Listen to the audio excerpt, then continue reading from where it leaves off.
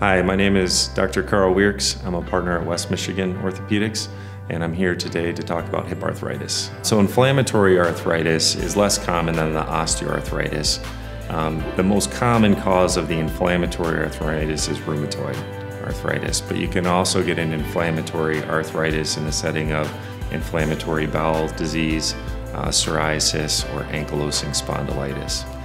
And the mechanism of the inflammatory arthritis is really just that it's an inflammation, um, really, of the joint lining, um, which is a very sensitive tissue, so this can be quite painful. So, if you are having hip pain and noticing things like uh, limited range of motion, um, particularly if you're having trouble putting on socks and shoes, going up and down stairs, I recommend having your hip evaluated by an orthopedic specialist um, that really uh, focuses on hip replacement.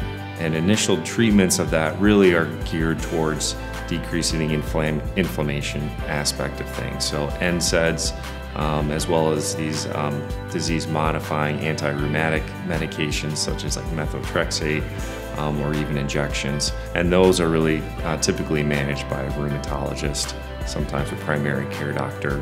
Another treatment that can be tried in that setting is cortisone injection, which can provide temporary relief of the hip pain. But if all of those things fail and that, that joint uh, uh, damage progresses far enough, then a total hip replacement can provide excellent pain relief.